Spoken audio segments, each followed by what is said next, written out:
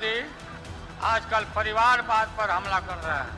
अरे भाई, तुम बताओ ना कि तुमको क्यों परिवार में कोई संतान नहीं हो? तुमको हुआ बताओ। तुम्हारे पास परिवार नहीं है और तुम्हारी माता जी जब, और तुम हिंदू भी नहीं है।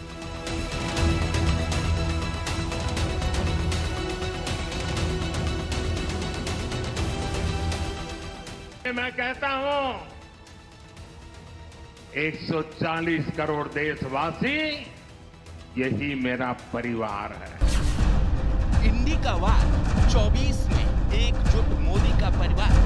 देश के कोटि कोटि बच्चे बुज़ुर्ग ये मोदी का परिवार है जिसका कोई नहीं है। वो भी मोदी के हैं और मोदी उनका देशवासियों की हुंकार मैं हूँ मोदी का परिवार। और आजकल लोग पूछ रहे हैं तो मोदी का परिवार कौन है? कौन है मोदी का परिवार? कौन है मोदी का परिवार? कौन है मोदी का परिवार? टारगेट 400 पार तैयार मोदी का परिवार। अब की बार एनडीए सरकार 400 पार। 19 जैसी गलती 24 में विपक्ष को भारी पड़ेगी। आपका ये प्यार और आजमगढ़ का ये विकास जातिवाद परिवारवाद और वोट बैंक के भरोसे बैठे इंडी गठबंधन की नींद उड़ा रहा है।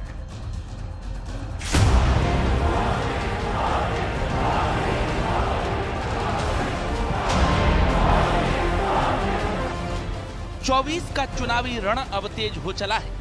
एक तरफ़ बीजेपी 400 पार के लक्ष्य के साथ सियासी लड़ाई के लिए तैयार है तो उधर तमाम टूट फूट और बिखराव के बावजूद इंडी गठबंधन भी अपने हिस्से की तमाम कोशिशों में लगा है। हाल ही में पटना की रैली में लालू प्रसाद यादव ने प्रधानमंत्री मोदी पर परिवार को लेकर तंज कसा।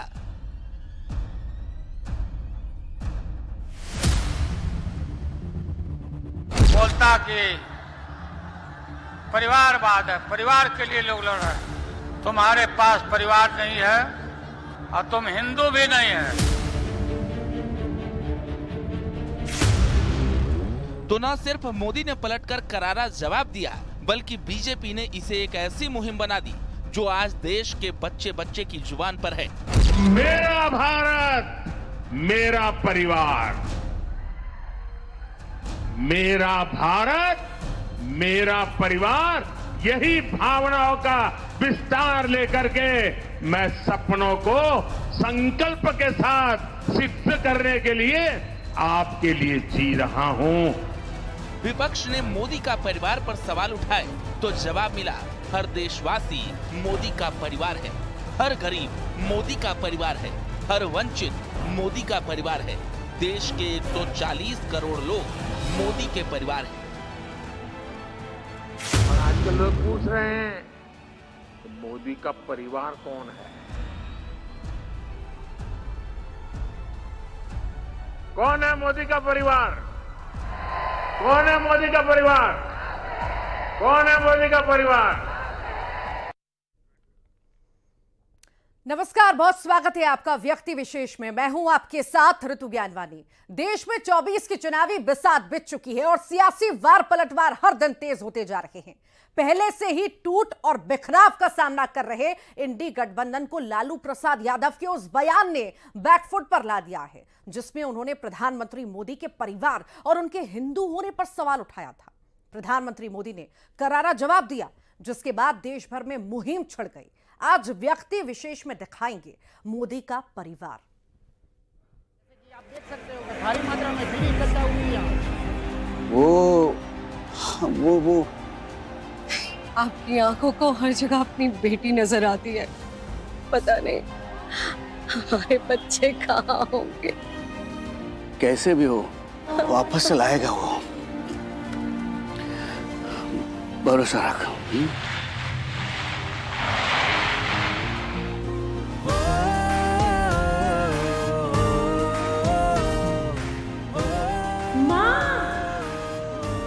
मैंने कहा था ना कैसी भी सिचुएशन हो मोदी जी हमें घर ले आएँगे। और रुकवा दी पापा और फिर हमारी बस निकाली पापा। हम करते हैं उनसे बेहद प्यार। मेरा भारत मेरा परिवार। मोदी का परिवार एक मुहिम बन चुका है। 24 के चुनावी रण से पहले बीजेपी ने इसे न सिर्फ़ सियासी हथियार बना दिया है, बल्कि विपक्ष के लिए ये एक ऐसी गलती साबित हो सकता है, जो अस्तित्व बचाने की इस लड़ाई में विपक्ष को बहुत भारी पड़ सकती है।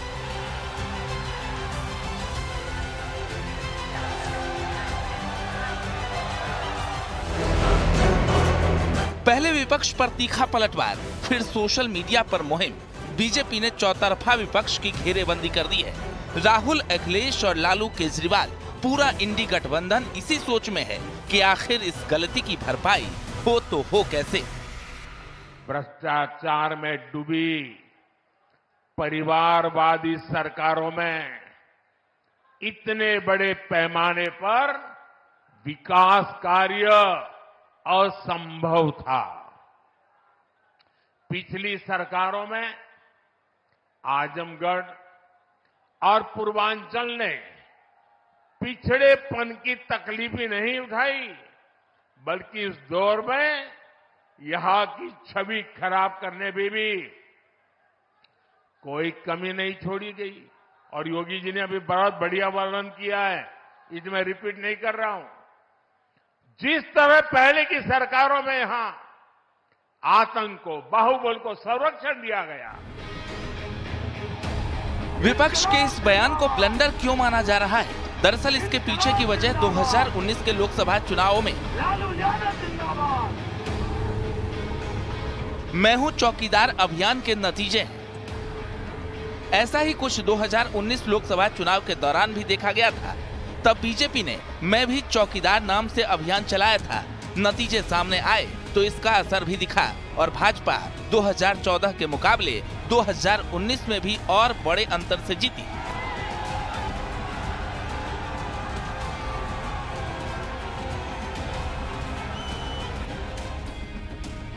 2019 लोकसभा चुनाव के दौरान कांग्रेस समेत तमाम विपक्षी दलों के नेता ने राफेल का मुद्दा बड़े ज़ोर शोर से उठाया था। राहुल गांधी ने अमेठी में कहा था कि चौकीदार जी ने चोरी की है। राहुल के साथ ही विपक्ष के दूसरे नेताओं ने इस मुद्दे पर तीखी बयानबाजी भी की थी। उधर बीजेपी ने राफेल विवाद पर राहुल के खिलाफ अवमानना याचिका दायर कर दी और बीजेपी ने मैं भी चौकीदार का चुनावी नारा बना दिया।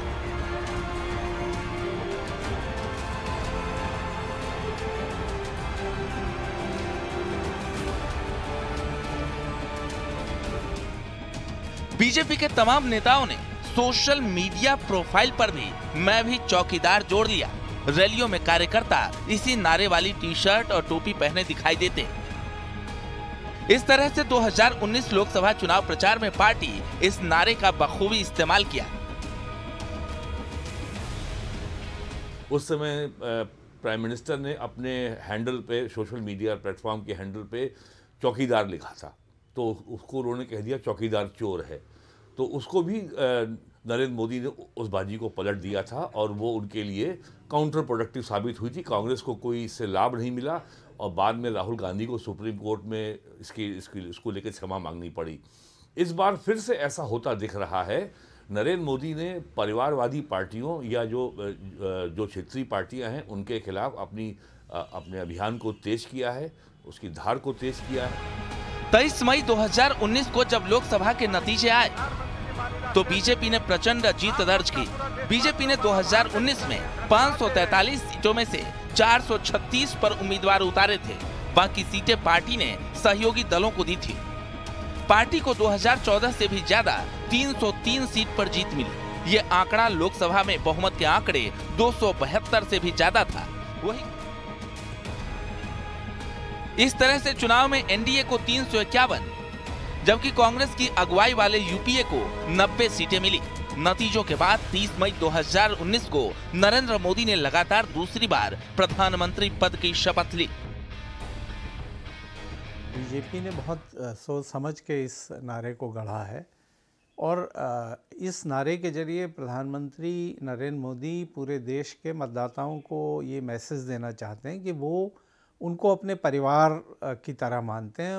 वो, मोदी का अपना क्योंकि मोदी पर इस तरह का आरोप भी है कि उनका अपना कोई परिवार नहीं है तो वो ये बताना चाहते हैं इस नारे के ज़रिए कि पूरे देश के लोग उनका परिवार हैं और इस तरह जो एक कनेक्ट बन रहा है पूरे देश के मतदाताओं के साथ और पूरे देश के आवाम के साथ वो उसको बनाने में बीजेपी कामयाब हो रही है।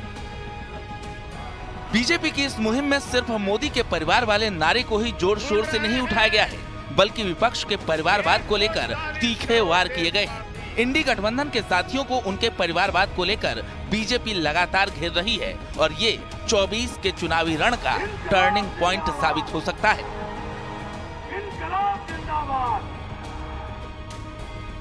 मोदी जी पूरे देश को अपना परिवार जन मानते हैं और पूरा देश मोदी जी को अपने परिवार का हिस्सा मानता है। मैं भी मोदी का परिवार हूँ। क्या लगता है लालू यादव ने किया था उस स्टेटमेंट को देखिए जितनी बार इन लोगों ने अपशब्द कहे गाली निकाली नीचे दिखाने का प्रयास किया उतने ही मज़बूत होकर नरेंद्र मोदी जी आज तक निकले हैं आगे भी निकलेंगे मोदी का परिवार वाली बीजेपी की मुहिम क्या रंग लाएगी? क्या विपक्ष को बयानबाजी वाली ये गलती 2019 की तरह ही झटका देने वाली होगी? इन सवालों के जवाब तो नतीजों के बाद ही मिलेंगे। लेकिन इस मुहिम के बीच एक चीज़ साफ़ है कि विपक्ष की इस बयानबाजी के बाद प्रधानमंत्री मोदी को अपने परिवार, यानी देशवासियों से एक तरफा समर्थन मिल रहा है। Bureau report, news eighteen. भूल रहे हैं। 140 करोड़ देशवासी। 140 करोड़ देशवासी, ये मोदी का परिवार है।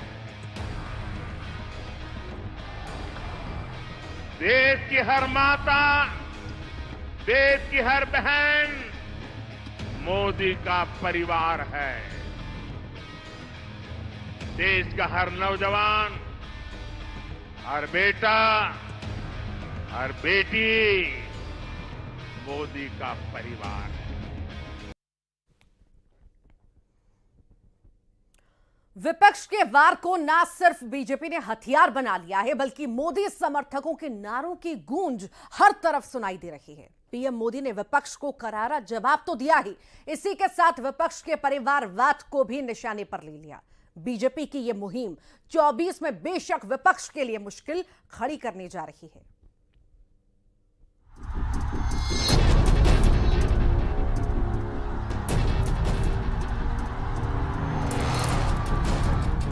तुम्हारे पास परिवार नहीं है और तुम हिंदू भी नहीं है।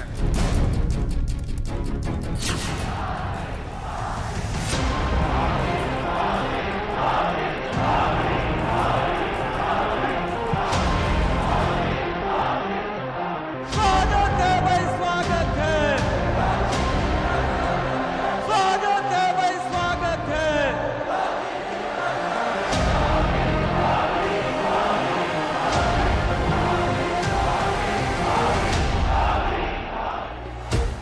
140 करोड़ देशवासी, यही मेरा परिवार है।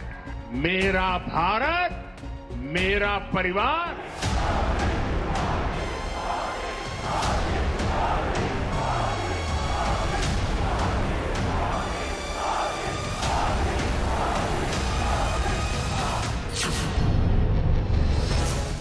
किसी भी वक्त चुनावी तारीखों का ऐलान हो सकता है।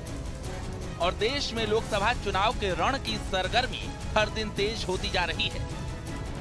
सियासीवाद, पलटवार और फिर मुद्दों की राजनीति। एक तरफ़ बीजेपी तीसरी बार क्लीन स्वीप का लक्ष्य लेकर चुनावी रण में है तो दूसरी तरफ़ विपक्ष के सामने अस्तित्व बचाने की चुनौती आ चुकी है।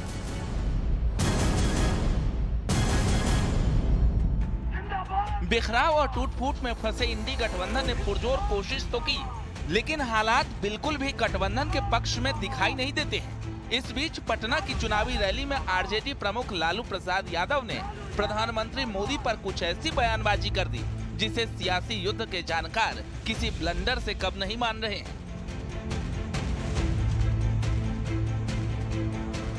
लालू प्रसाद यादव ने इंडी गठबंधन की रैली के मंच से पीएम मोदी पर निशाना साधना शुरू किया तो परिवार तक बात ले गए। पीएम मोदी के हिंदू होने पर भी सवाल उठा दिए तो साथ ही उनके परिवार को लेकर भी तंज कस दिया। बोलता कि परिवारवाद है, परिवार के लिए लोग लड़ रहे हैं। तुम्हारे पास परिवार नहीं है और तुम हिंदू भी नहीं है। जिस मंच से लालू प्रसाद यादव ने प्रधानमंत्री मोदी पर ये तंज किए, उस मंच पर इंडी गठबंधन के दिग्गज नेता भी मौजूद थे। अखिलेश यादव से लेकर कांग्रेस के वरिष्ठ नेता, लालू प्रसाद यादव के इस बयान के मायने समझते तो हैं, लेकिन अब शायद इंडी गठबंधन के लिए इस बयान को डिफेंड करना मजबूरी भी बन गया था, और यहीं से शुरू हुआ एक गलती का ब्लंडर बनने का सफ़र। परिवार में बहस बीजेपी को इसलिए नहीं करनी चाहिए बीजेपी संकल्प ले कि किसी भी परिवार वाले को टिकट नहीं देगी। और किसी भी परिवार वाले से वो वोट नहीं मांगेंगे। हिंदुस्तान की राष्ट्रपति आदिवासी है। आपने राम मंदिर में चेहरा देखा? क्यों नहीं देखा? क्यों नहीं देखा? किसी दलित का आपने मंदिर में चेहरा देखा? किसी पिछड़े का आपने मंदिर में चेहरा देखा? तो फिर अब मैं आपको बताता हूँ, आपने नरेंद्र मोदी का चेहरा देखा। आप कहोगे, नरेंद्र मोदी पिछड़े वर्ग का आदमी है। और मैं आपको बताता हूँ, नरेंद्र मोदी जब पैदा हुए, गुजरात में वो जनरल कास्ट के आदमी थे। गुजरात में 2000 में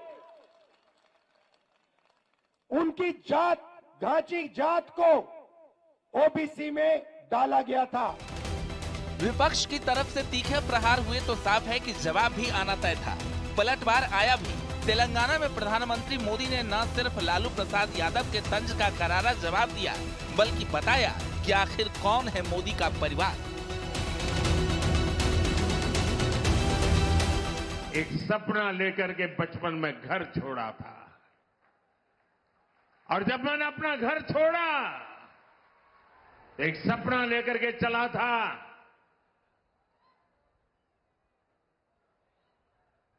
कि मैं देशवासियों के लिए जीऊँगा।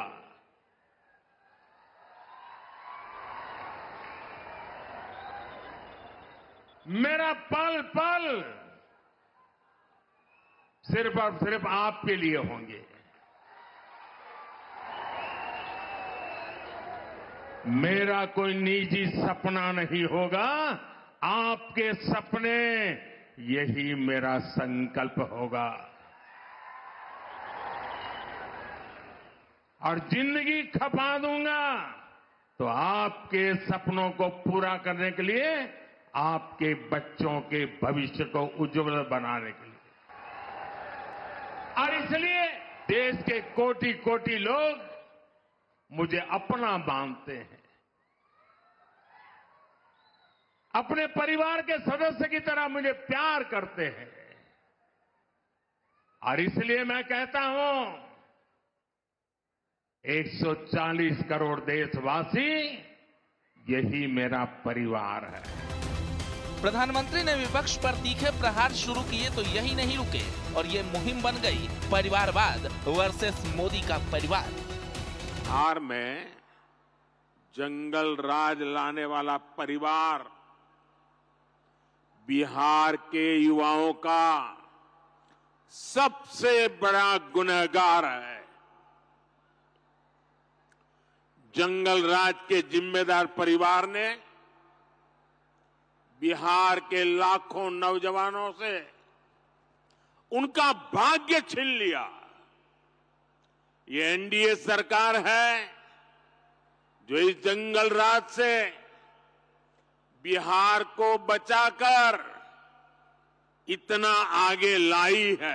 साथियों, आज जब मोदी ये सच्चाई बताता है तो ये मोदी को गाली देते हैं। भ्रष्टाचारियों से भरे इंडी गठबंधन का सबसे बड़ा मुद्दा है, मोदी का परिवार नहीं है। ये लोग कहते हैं कि इंडी गठबंधन के परिवारवादी नेताओं को लूटने का लाइसेंस मिलना चाहिए। क्या लूटने का लाइसेंस मिलना चाहिए क्या? मिलना चाहिए क्या? एक तरफ़ पीएम मोदी ने विपक्ष के वार पर करारा पलटवार किया तो भारतीय जनता पार्टी ने इसे 24 की मुहिम और 400 पार के लक्ष्य के लिए हथियार बना लिया। मुहिम शुरू हुई मोदी का परिवार। पार्टी के दिग्गज नेताओं ने अपने सोशल मीडिया हैंडल्स पर अपने साथ मोदी का परिवार जोड़ना शुरू कर दिया एक एक कर ये मुहिम देश में अभियान का रूप लेती चली गई और बच्चे बच्चे की ज़ुबान पर प्रधानमंत्री मोदी को समर्थन और खुद को उनका परिवार बताने की मुहिम शुरू हो गई।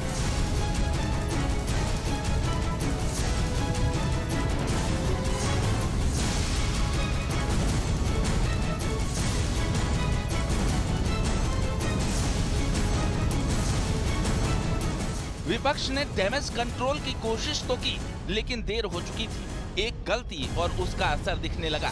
पीएम मोदी न सिर्फ़ देश के, बल्कि दुनिया के सबसे लोकप्रिय नेताओं में शुमार है। उनके ऊपर ऐसी टिप्पणी उनके चाहने वालों के लिए बर्दाश्त के बाहर है। तो परिवार को लेकर विपक्ष के इस तंज ने हर किसी के अंदर गुस्से का भाव पैदा कर दिया। और इसी गुस्से ने अभियान का रूप लिया और आज देश के हर कोने से आवाज़ आ रही है। मैं हूँ मोदी का परिवार। Bureau report, news eighteen.